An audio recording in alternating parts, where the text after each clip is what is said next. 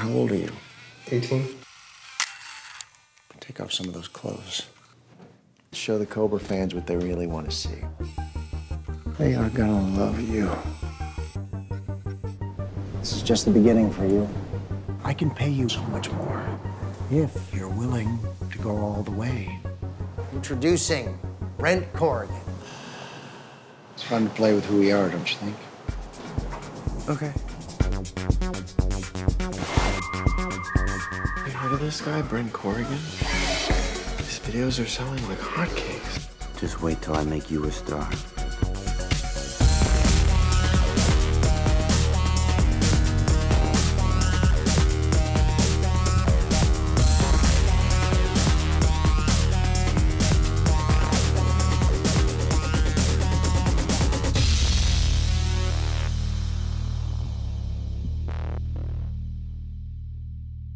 Thank you so much for taking the time to speak with me today. So, this is kind of the polar opposite of Disney. So, what made you want to go in this direction? For your first like film post Disney. Um, I was looking for really good, meaty, layered, aggressive, cool work, and I think I read the script, and it was a little jarring at first, but after watching I Michael and meeting with Justin, I was really excited. Definitely aggressive. Yeah. Definitely something new. So, how was it working with Christian Slater and James Franco? Great. You know, I was. the one. I think the most frequent question is um, what did I learn from them? And I think the pleasant surprise working with any of the veteran actors in the movie at all were uh, just their work ethic and to see that no matter how far you get, if you you know, there's still work ethic involved, and and they don't just show up and it's like Just read their lines and just yeah, they don't just show up and know everything and then leave. It's like they, I, you know, I've seen they work just as hard at what they do every day, just as much as I do, and so that was that kind of made me feel really good and like I was on the right track because you never really know when you're, Yeah. you know, when you're first starting. Did any of them kind of take a guiding role in your to help you while you were on set? They were, all, I mean, legitimately, they were all wonderful. Perfect. So, what content? So, this is a major content change. What was Mhm. the hardest part about it? I think I was most nervous about the nudity, but it was after we were doing one of the scenes. It was just the first one I saw.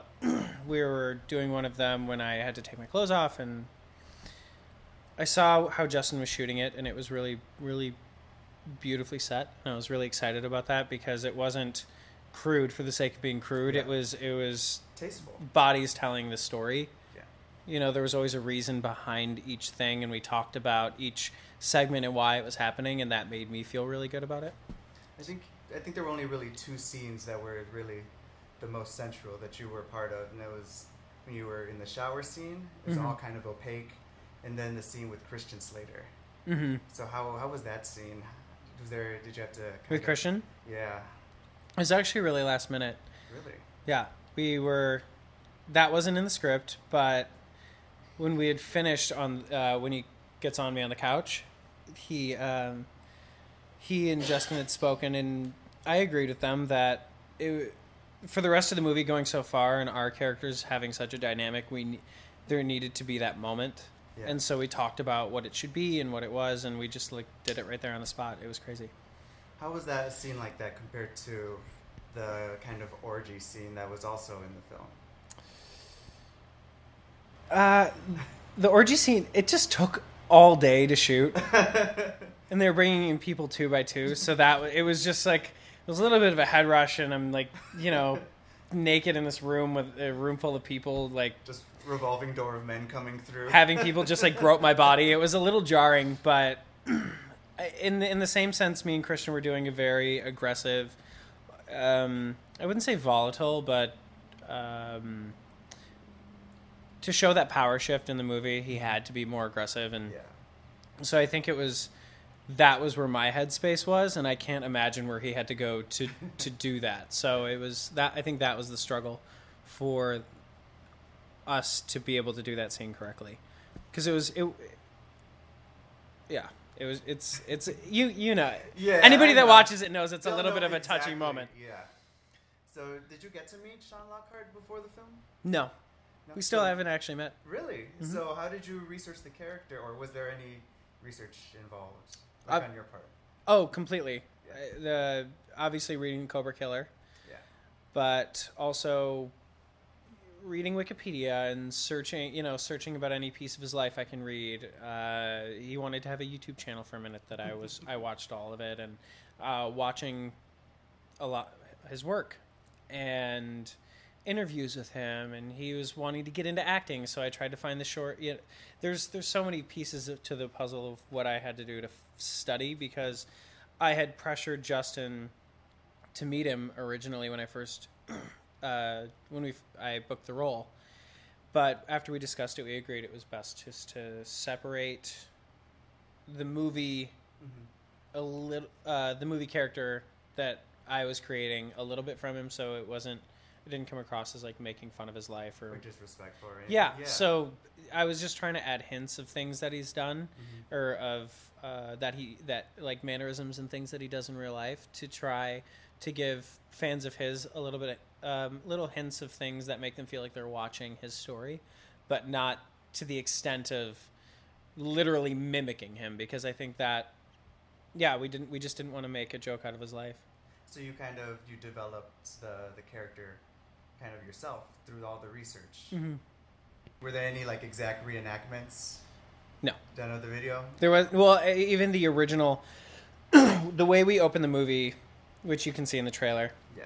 isn't the same as is for the first video that you can find online, uh, which I know is very controversial Yeah. because he's 17 in the video and laying on a lawn, and yeah, it's just it's which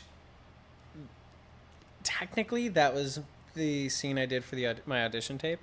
Oh. Yeah. So it was interesting.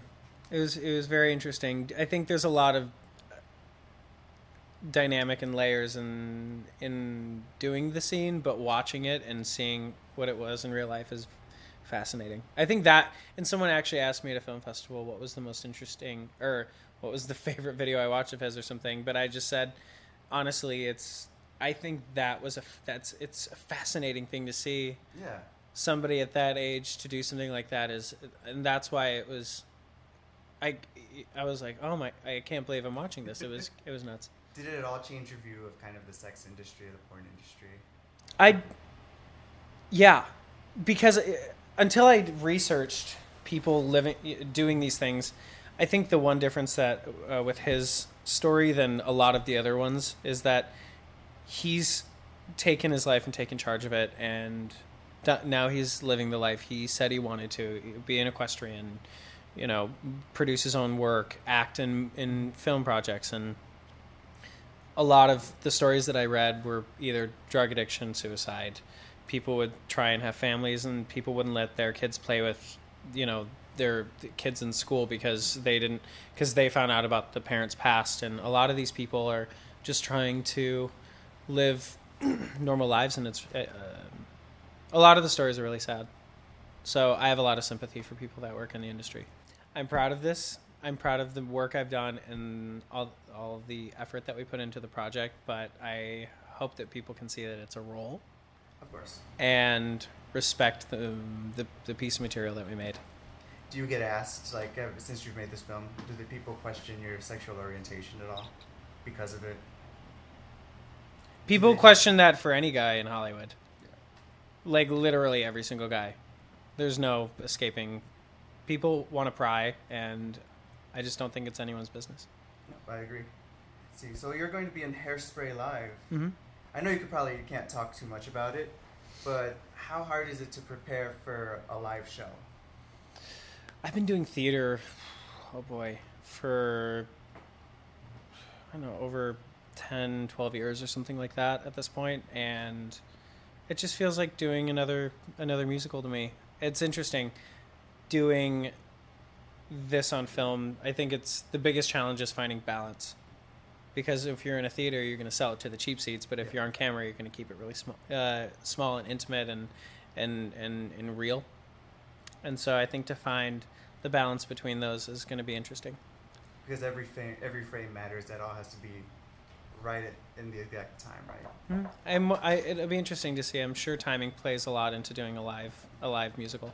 Have you gotten to meet any of your other cast members yet? Yeah, we we did a table read. We did a press day. We've we've done a bunch of things, or a couple things so far. So everyone's been really wonderful. So aside from Hairspray Live, what other projects should we look out for? Well, I have a thriller called Don't Hang Up. I have a sci-fi movie called Welcome to Willits. I will be doing um, returning to a play I've been working on, but I can't say anything more about that at the moment. Uh, yeah, so those are the other things that I'm handling at the moment. So you're kind of moving less from the stage and more towards the screen, or is, is it you're trying to find a balance between both of them? A balance between both. Balance between- hmm Which one came first? Which one was your first love?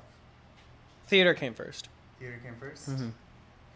But I, I mean, through the year, I've, you know, been promoting Cobra, obviously. But this, I was when I shot Welcome to Willits as the sci-fi movie I did with the same uh, Scott and Jordan, the producers on this movie. and I did Almost Famous the musical at the Troubadour, and I did a play. So it's all staying very even. All right, perfect. Thank you so much for your time. Yeah, of course. I've never done this before. I'll show you how.